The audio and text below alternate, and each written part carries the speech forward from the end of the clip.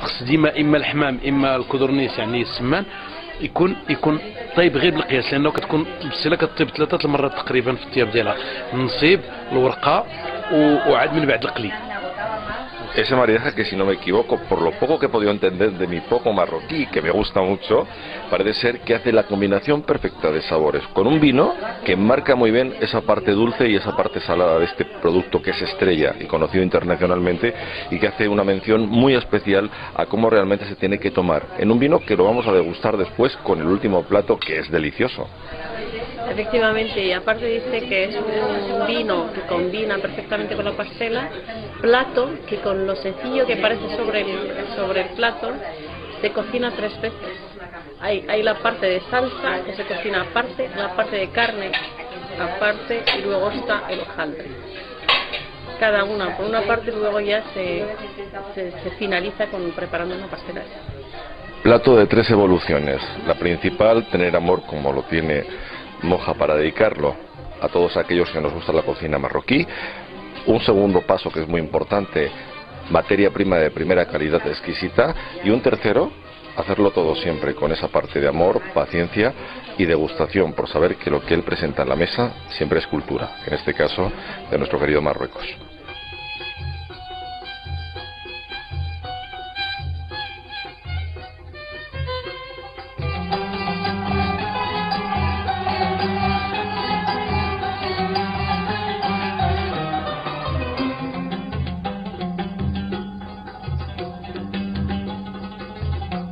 Descubrir nuevamente en Darmoja, en Madrid, es descubrir no solamente a una de las mejores estrellas de la gastronomía marroquí, sino también a un gran eh, educador para recordar que hay sabores que pertenecen al pasado y que curiosamente también entroncan con el futuro de la cocina, no solamente marroquí, sino también popularmente española, como una fideuá. Bueno, aquí tenemos una representación de la fideuá marroquí y además sacada, ¿cómo diríamos?, de la parte más empolvada del tiempo que era sabido rescatar porque es tradición y porque es un plato que tiene mucha significación.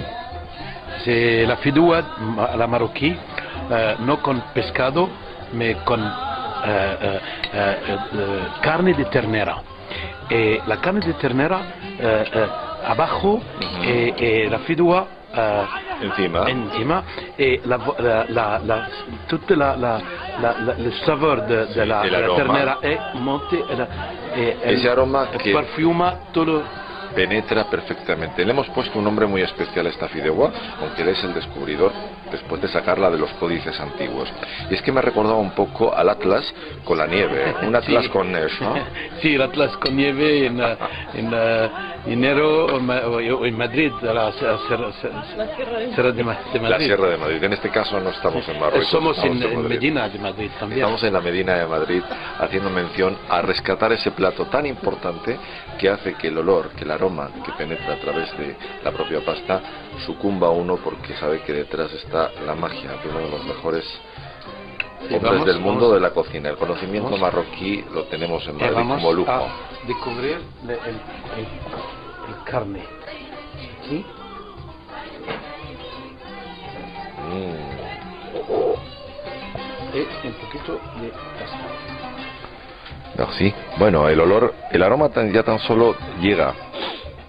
Y lo que nos quiere inspirar son muchas cosas. Descubrir este plato es volver nuevamente a hacer referencia y honor también a los antepasados y a la gente que ha hecho de la cocina marroquí una de las principales. Reconozcamos que detrás de la cocina española existe mucha influencia de este querido Al-Ándalus y concretamente de nuestro querido Marruecos. Gracias.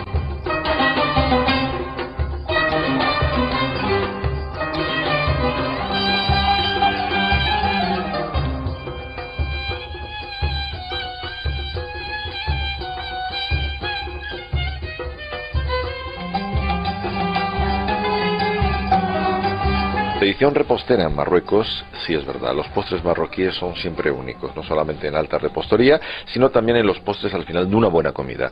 Estamos hablando de hojaldres, pero también hablamos de esa componente tan especial. Ustedes saben que las mejores naranjas del mundo en el mercado de Frankfurt son las marroquíes por sabor, por pulpa y por esa textura tan especial. La tierra de Marruecos da productos como estos y hacen mención a esa parte del postre. Un colofón perfecto junto con el té que después tomaremos, pero que va a hacer indicación a que este embajador del sabor marroquí en Madrid nos explique la diferenciación, colores y texturas que son especiales. No solamente eso, sino también la perfección vinculada a la geometría que en la naranja se puede apreciar.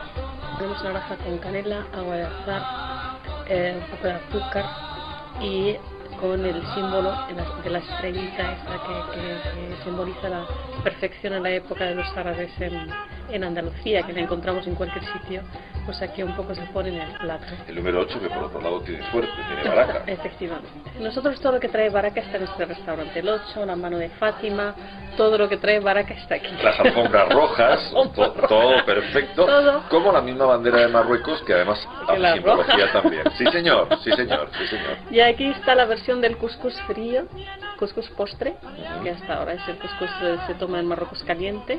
Está con fruta, con melón, eh, fresa y crema y un poco de miel. Y luego está la saxoja, que es también un postre tradicional de Marruecos, típico, que son hojaldres con manzana caramelizada y azafrán, almendras, un poco de fruta y crema. Lo dicho, un colofón perfecto para una comida imperial en pleno centro madrileño con el mejor embajador del sabor de Marruecos en Madrid. Aquí, en esta Medina, como bien dice él, que hace del barrio de las Letras, de la calle Lope de Vega, un lugar idóneo para descubrir la temperatura y el sabor de un pueblo hermano, el marroquí. Marruecos estupendo que siempre hace honor a las mejores de las mesas, a la mejor educación y sobre todo al principio de la cultura que une a los pueblos. Muchísimas gracias, Jamón. A ti. Marruecos. Marruecos.